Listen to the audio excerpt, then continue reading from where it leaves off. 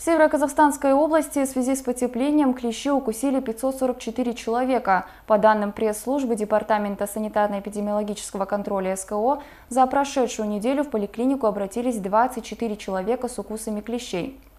Это на два человека меньше, чем за прошлую неделю.